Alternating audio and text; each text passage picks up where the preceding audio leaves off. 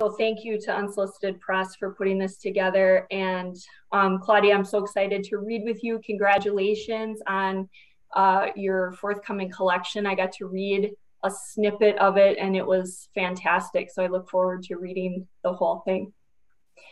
Um, okay, so I'm going to read a chapter of the Ballad of Two Sisters, and I don't think much setup is needed. Um, the the novel is kind of told in stories from different characters' points of view. I'm going to read a chapter from the point of view of Helen, and Helen, uh, I guess I guess you should know about Helen that of the two sisters, she is the one who struggles more, I would say, and um, and has had some trauma in her past that that kind of unfortunately um, shaped her future. So this chapter is called Dolls. Despite the way she felt about men, Helen had wanted nothing more her whole life than to have a baby. To temper this desire, she used to collect dolls. Most of them were secondhand, their plastic arms stained and scratched, their generously lashed eyes prone to malfunction, and their clothes moth bitten and discolored. She brought them home from garage sales or thrift stores, and many times, knowing her affection for them, people gifted them to her. She loved each and every one of them and treated each with the same care a mother would bestow upon a real infant. Throughout her girlhood, the dolls slept in dresser drawers or took turns slumbering in a small wooden cradle. Although she imagined the dolls slept when she slept, she often woke in the middle of the night to the ghost of a cry and walked to where the dolls were, trying to discern which one was in distress she put a hand on their foreheads to check their temperatures or slipped her hand between their legs to feel whether they had soiled their diapers. Sometimes the process was arduous. She went back and forth between dolls, but could not determine which one needed her attention. Some nights she made her decision arbitrarily or chose the newest in the collection to soothe, the doll who wasn't yet accustomed to its surroundings. She would pick it up and say, hush, almost inaudibly, patting its back rhythmically until something in the doll and in herself quieted. If after that ritual of soothing neither she nor the doll could sleep, she took to whispering nursery rhymes into its ear as her mother had done for her. There was a little girl who had a little curl right in the middle of her forehead. And when she was good, she was very, very good. But when she was bad, she was horrid. Then, if she were lucky, both she and the doll would feel the pull of tiredness, and she could put it down and fall asleep quickly. Some nights, however, the doll could not be soothed, and she would have to hold it so tight against her body that its plastic limbs left marks on her skin. On those nights, her sleep was shallow. The smallest noise had the potential, potential to rouse her, and often did. She would wake with a racing heart and dry mouth, the doll now beside her, and reach out to it as mothers reach out to their newborns to make sure they still breathe. Those nights always came at the worst possible times when she had a test the next day, when her parents were fighting, when the house felt off kilter, the foundation shifting beneath her. She kept up her habit of the dolls in secret long after girls her age had put their dolls away.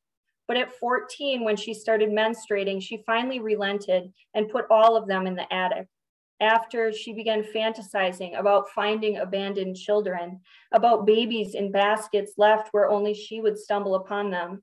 She began fantasizing about becoming pregnant without being touched. She imagined immaculate conception, virgin birth. She would settle for a regular son. She needed no Christ. When her longing was at its peak, especially on nights when Stella was out past her curfew or when her parents' fighting was brutal, she thought she could hear a baby crying. And she would open the attic room door with trepidation and switch on the single bare bulb that lit the room. She would find the box with her name and dolls on it and open it to see all her discarded children there in various states of dress and disrepair innocent babes who had suffered through untampered heat and cold, innocent babes who in their abandonment cried for her. She would pick them up one by one and soothe each, running her fingers through their coarse hair, taking in their plastic and rubber effluvia. When she could no longer hear the crying, she put them in the box one by one and went back to sleep where she slept in fits of dream.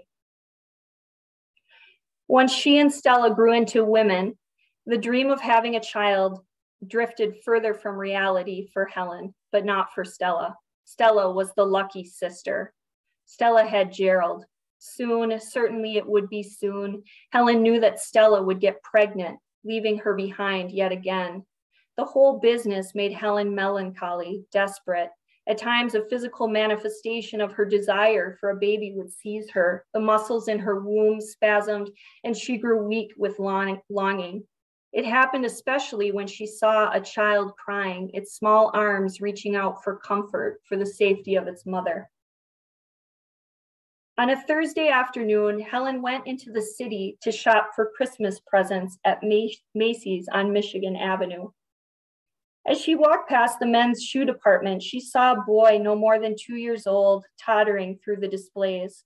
He had brown, curly hair, rosy cheeks, and he wore a cheap looking winter coat, handmade mittens hanging from the strings, from strings at the sleeves. He picked up one men's dress shoe, shook it in his tiny hand, and then placed it haphazardly back on the shelf. Pretending to look at a rack of suits, Helen watched him toddle through the shoes and then across the aisle, dodging the legs of adults who looked down and smiled. Now he meandered through dress shirts, the slacks, the sports coats, she waited for his mother, his father, his auntie, for someone to claim him. More time went by and no one came. Finally, the boy realized he was alone. Then it began a familiar noise, the whimper just before the cry of a child. A tremor passed through her body and she closed her eyes for a second, remembering that sound from when she was much younger, the sound her dolls had made from their cribs and the attic, Rubbing the fine fabric of a pair of dress pants, she thought of the dolls now. What had happened to them after she had abandoned them in her parents' attic when she moved out? She could remember it now, looking back at the box neatly labeled and taped shut. Can I just leave this here? She had asked her mother. Of course, honey, her mother had said, even though her mother was already planning to leave Helen's father. But Helen couldn't have known then that in six months, her mother would be in a low rent apartment above a laundromat, living with only what she'd been able to pilfer from the house. It had been too late to go back for the dolls then. But she never forgot about them.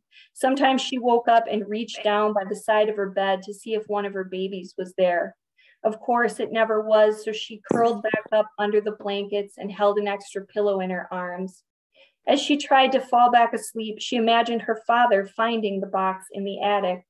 He would read the label and laugh to himself. Then he would rip the tape open and tear through the dolls mercilessly. This babe too long, this babe too short, this one's hair too matted, until each and every one of them lay scattered on the floor, cold and naked, Finally, he would kick them into cobwebbed corners of the attic. Mice would find their eyes, spiders would nest in their hair, and her children would be lost.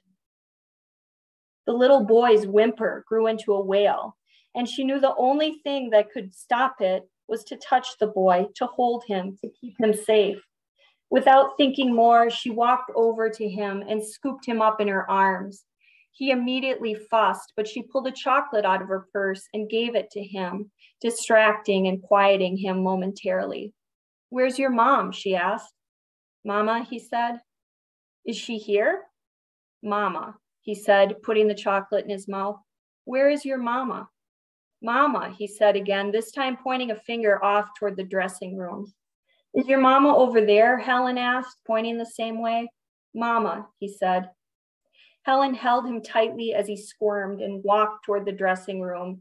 She waited for a moment until the saleswoman's back was turned and then walked in with the boy. Is your mama here? she asked, putting him on his feet and stepping back. The boy looked around and began to wail anew. No, shh, don't, shh, she said, kneeling down to him. His whole face was red in misery. Is everything okay in here? A saleswoman suddenly behind her asked. I'm sorry, he just wandered in here and he's overtired, Helen said, as though she were the boy's mother. Oh, poor little guy. Be good for your mother, okay, buddy? The saleswoman said. Do you want a piece of candy? The clouds on the boy's face drifted as he stared at the saleswoman. Candy? The saleswoman said, pulling a mint out of her pocket. The boy took the candy. What's your name, buddy? she asked. Can you tell the nice lady your name? Helen said, which sounded motherly, she thought. The boy merely looked from her face to the saleswoman's face and then back again. What's your name? The saleswoman repeated. Still, the boy said nothing, and so panicked Helen picked him up, which only incited him to resume crying. Bobby, Helen blurted out, it's Bobby. I have to get him home for his nap, she said. Thanks for the candy. Sure, the saleswoman said, no problem. Helen rushed out of the dressing room, afraid to be caught in her lie with the saleswoman looking on. Once outside of the dressing room with the boy in her arms, she did not know where to turn, for at any turn there could be the boy's mother or father or sister or brother, shattering Helen's dream of having him as her own. The only thing she could think to do was get out of the store as quickly and quietly as possible. Near the fragrance, she put her hand on the side of his head so that his face was obscured as he continued to wail. The girls at the counter smiled sympathetically. Of course, they didn't know who Helen was, who the boy was. The word kidnap rang in Helen's mind as she neared the door. Kidnap? No, not kidnap. That was what someone else might call it, but not really what it was. Kidnapping was a term assigned to a variety of differ, different situations, some of which could be justified once put into context, like this one. The little boy had no one, and she saw him, and he needed her. There had been no one else. When they finally reached the street, she put the boy down on his feet and they started walking away from Michigan Avenue down East Pearson Street, where there was slightly less foot traffic. The boy was still crying, but his cries had thinned. She wondered if his allegiance was changing as it could so quickly in children of his age. She stopped and pulled him into the doorway of a closed shop. Stay here, she said, and then walked backward a few paces. It only took three steps before the wailing started again, and she went back to him and picked him up and pulled him toward her chest and hugged him tightly. It's all right, she said. It's all right, baby. Soon, in the warm confines of her embrace, his howl hushed. She did it one more time before she was satisfied, before she could fully feel the shift in him, which quieted something in her. After she stood there in the tiny alcove holding the boy until finally he fell asleep and her arms grew tired.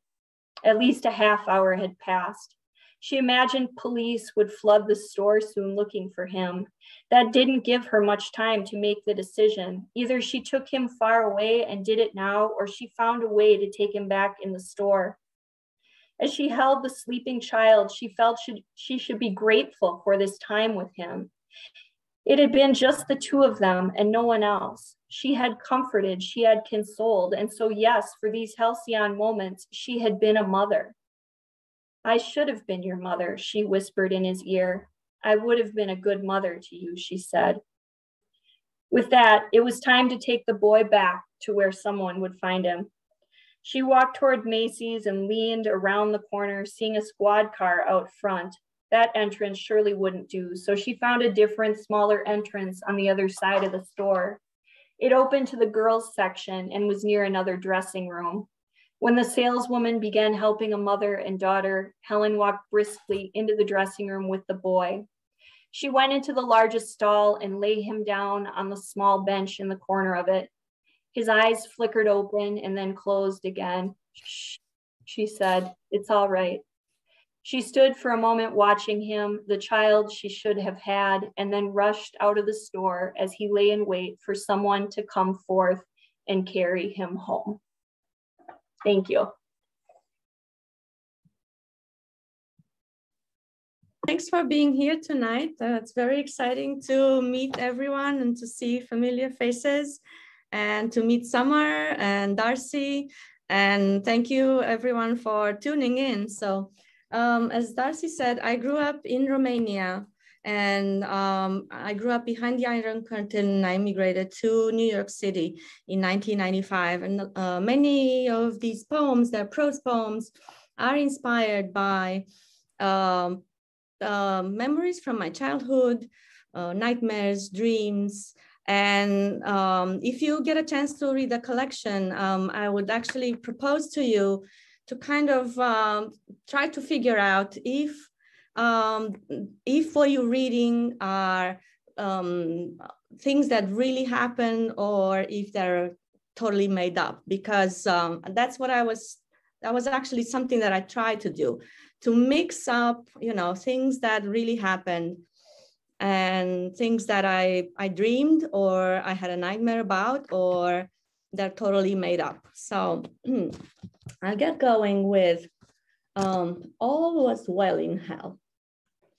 Nothing to watch on TV but speeches. Large industrial plants manufactured wooden clocks, tin birds, and bells with no tongues. There was a three-year waiting list for a car without gas. We played outside all day with chalk and a ball. The key tied around my neck jumped up and down and printed a dark bruise on my chest. Lights off early in the entire cement city. Dear comrades, we know you need your beauty sleep. The tooth fairy was not allowed to fly behind the iron curtain. Instead, my brother and I were visited by an old toothless fairy. She limped into the room, stole the coins from the piggy bank, and placed small potatoes under our pillows. There was an endless invention fair, and we thought of the most amazing things the suitcase that would carry itself with a small motor, the thermo boots that would warm your soles in the deep winter freeze, the toaster that would make sausage as well, and eggs sunny side up, and arrange them into a smiley face on the plate. I love America, you said. When we'll go there with all these ideas, we'll be rich in no time.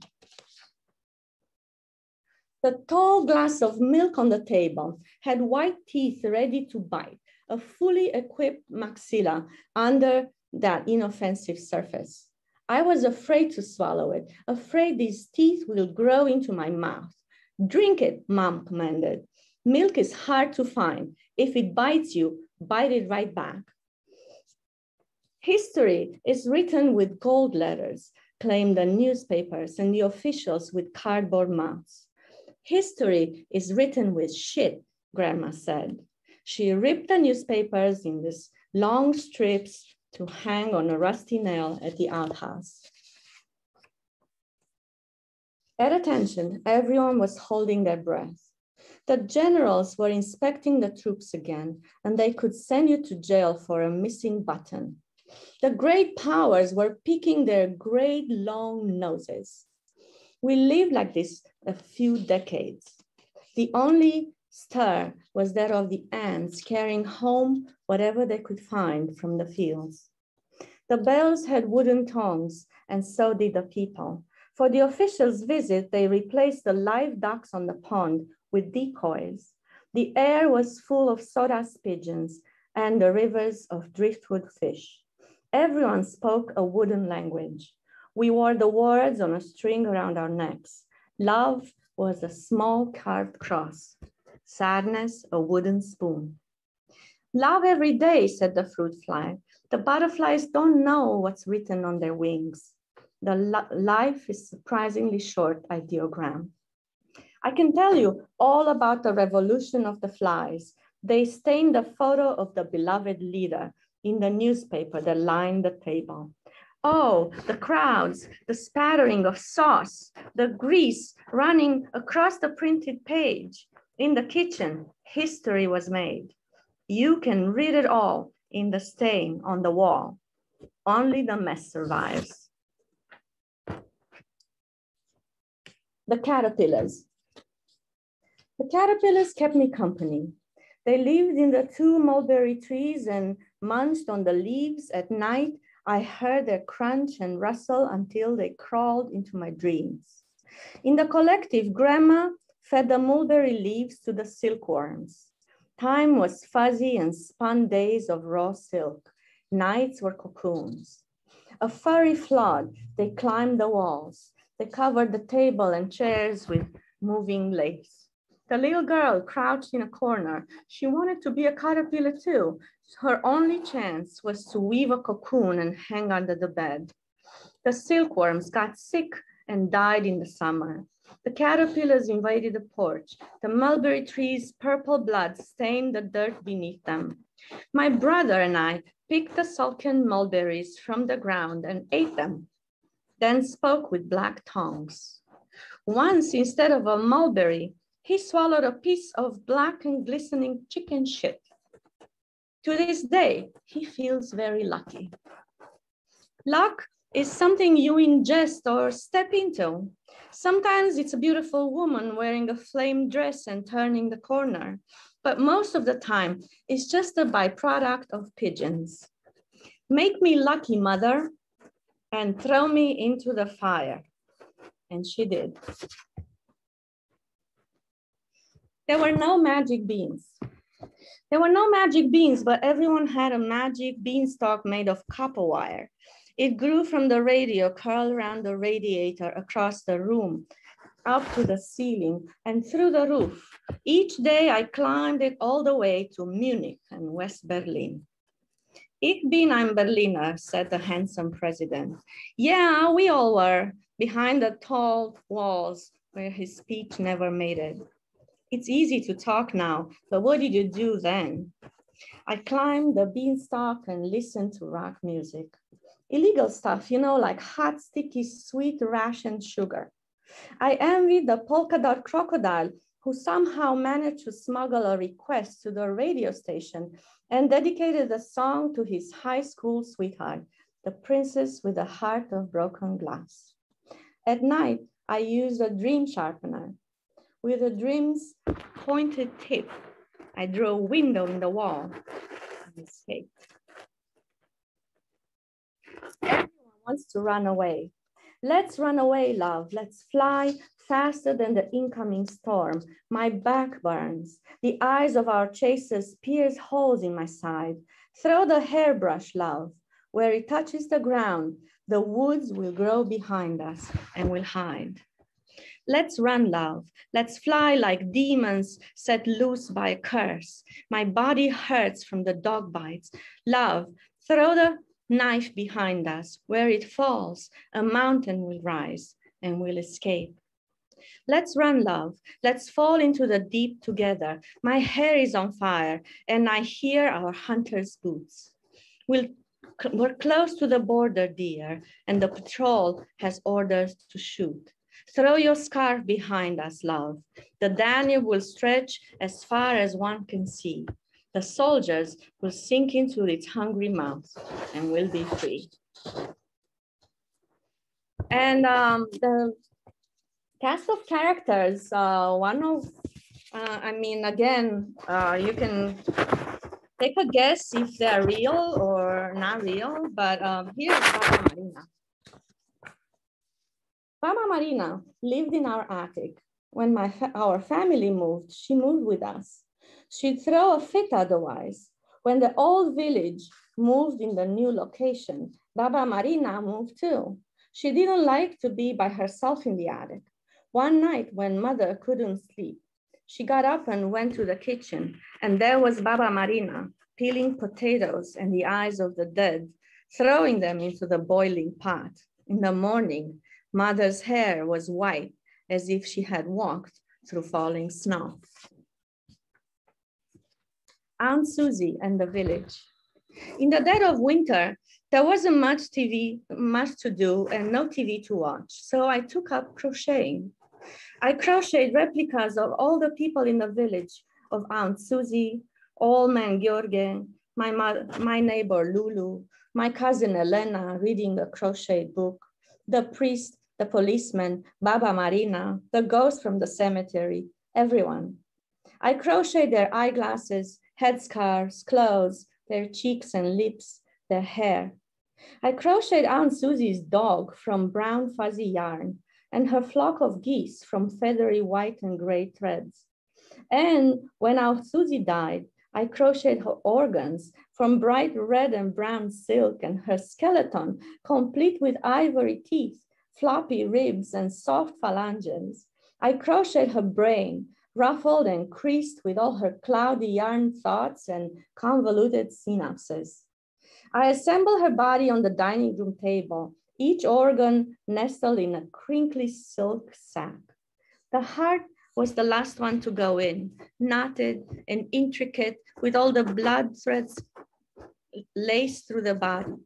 People said I had too much time on my hands, but what do they know?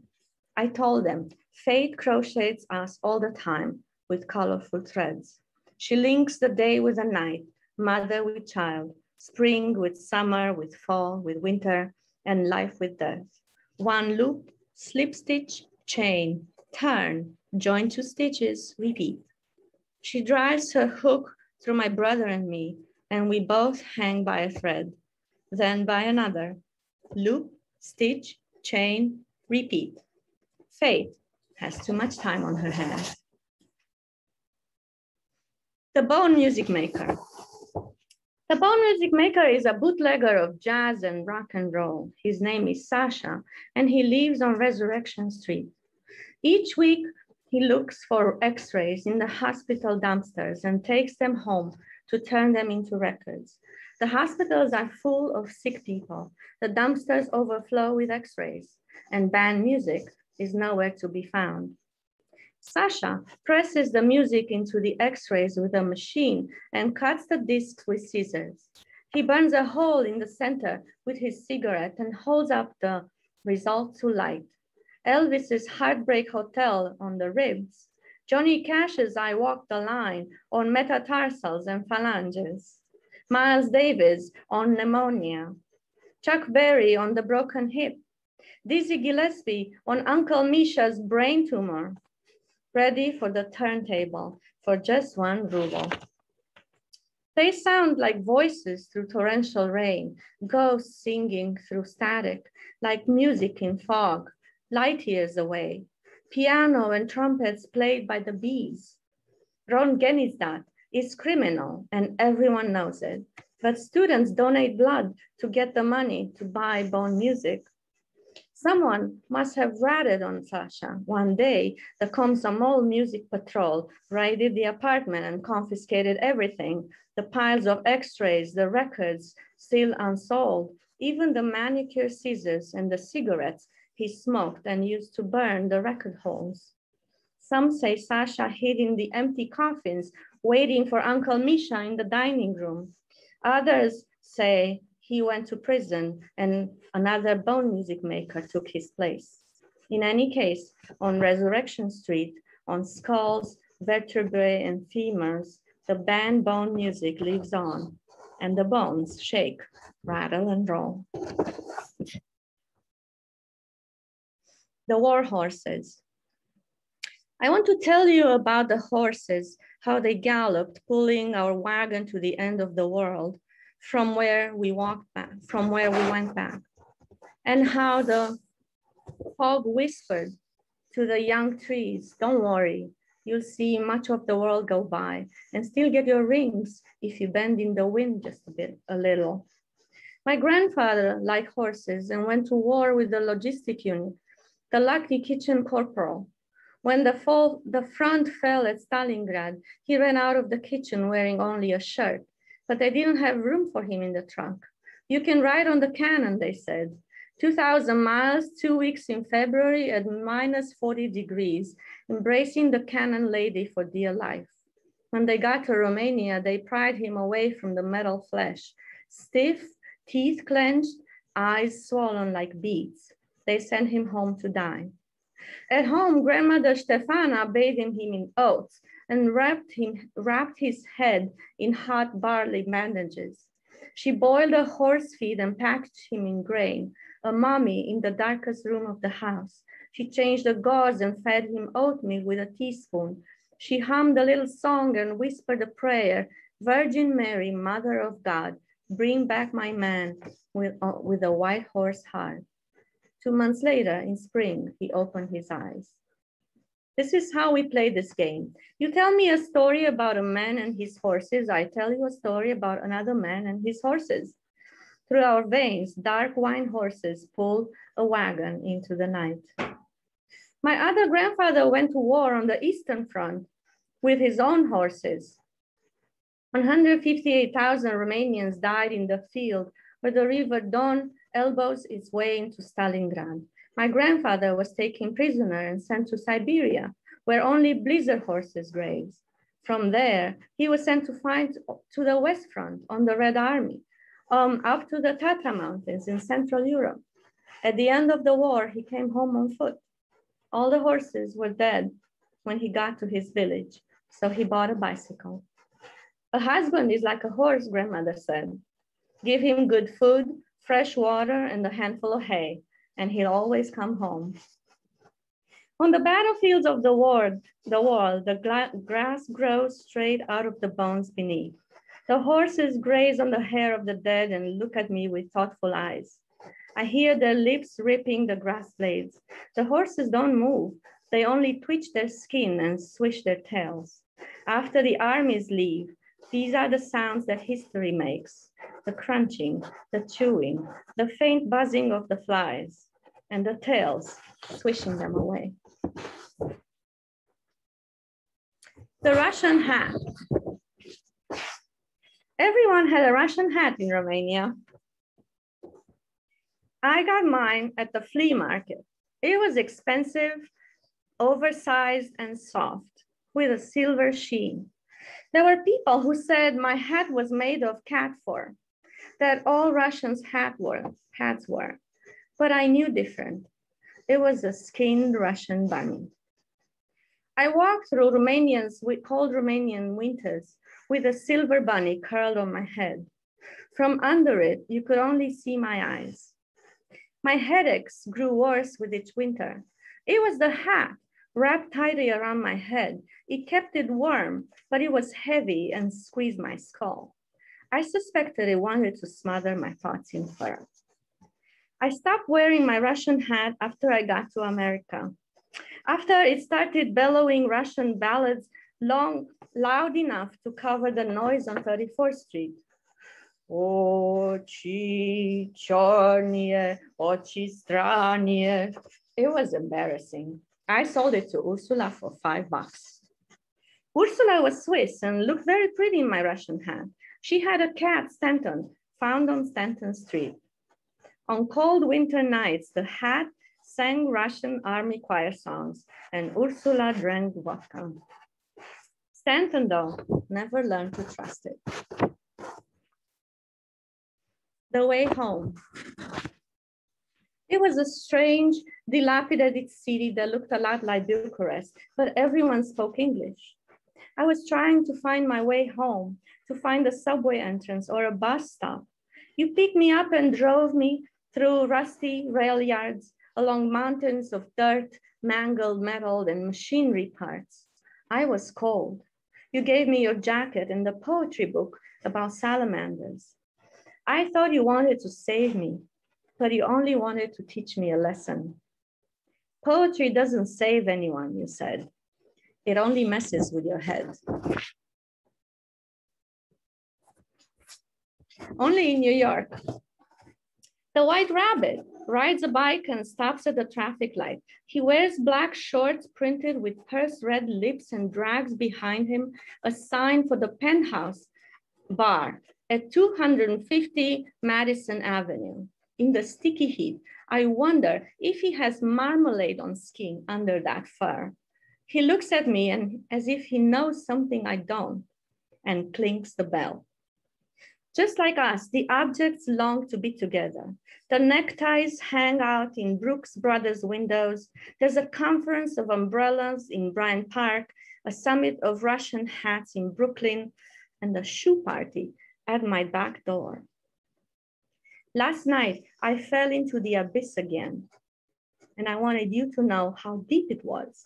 So I, I counted the seconds, one 1,000, two 1,000, three 1000, flying head down into the pit. When I got to 37, I knew I was too far to be saved. In Herald Square, the Statue of Liberty has lunch with a silver man. The copper robot tells them jokes from when he used to be golden. The statue complains her feet hurt from standing all day. I wonder if she lives on Staten Island and takes the ferry home. I imagine her lifting her skirt over puddles and nodding to the other lady in the harbor. I wonder if the silver man sleeps with the paint on or if he showers, how the paint runs off his face like mercury, traveling a strange, revealing a strange person in the mirror, how the bathroom glints in the moonlight and all the pipes shine silver inside as he reaches for the towel. The Tiny Comedy Club. I perform live in front of an audience of baby dolls and stuffed animals. They laughed so hard at my jokes that button eyes popped out and their side stitches split. Stuffing floated around the room like snowflakes. The beanie babies spilled their beans, and that's the tea. The whole city laughed, except for two pigeons in gray uniforms who flew above the comedy club. This is no laughing matter, they said, and shitted solemnly in the street. I'm gonna file a report with the Department of Truth. Someone's comedy club is another one's outhouse, I mumbled. Go ahead, report me, I yelled. It's a free stuffing toys country, and the teddy bears are my witnesses. Signs, the end of the world is near. Time to move to New Jersey. Mother and I walk through the woods and a woman with a twirling umbrella shows up, dressed as the clown from the Zamboni circus. She's telling me a message, but I'm distracted by her umbrella and don't understand. A dog comes by and it's my little brother. I recognize his eyes, the way he looks at me. He's limping, so I carry him home. Giant fires light up the sky. We're on the highway near my hometown. The hills are burning. In Times Square, Jesus is eating pad thai for lunch, and a bunch of Elmos are joining the armed forces. A recent transplant from the ninth circle of hell chats with an old lady in the subway. She can't hear anything because Spider-Man is playing, playing the saxophone. In the tunnel, someone detonates a teapot bomb by accident. Everyone runs but the sax player. In Bushwick, the local artist takes her peacock for a walk. The queen bee is walking tigers on Broadway on a golden leash. And my neighbor is walking a white dog named, named Noon and a black one named Midnight. He smokes and stops to pick up to them. He has a cat named Insomnia at home. At Starbucks, the latte costs 39 bucks. The barista is wearing a Putin t-shirt and a Karl Marx beard. He speaks with a strong Russian accent and writes, Comrade Claudia on the cup. E.E. E. Cummings is eating a freedom omelet with freedom fries for breakfast. I pay for the latte and sit at a table with Lord Byron. He's holding a toy bus in his hand and says, God bless you. The walls are covered with portraits of Justin Bieber and Beyonce. On the black and white TV, Wolf Blitzer announces that Beyonce had just won the presidential election. One should always ask at the end of the world, what would Beyonce do? She'd move the White House to New Jersey. And I'll close with, what happens in the poem stays in the poem. Take a dream vacation to your beautiful pain. Enjoy it, its five stars hotels, fine dining, and dazzling nightlife. Find new romance under your heart's Eiffel Tower and play the penny slot machines. Slide your tokens inside the wounds and pull the handle until the three cherries align. Pound after pound of shiny poems will pour out. Don't delay, book your trip today. It will be the experience of a lifetime. Thank you so much.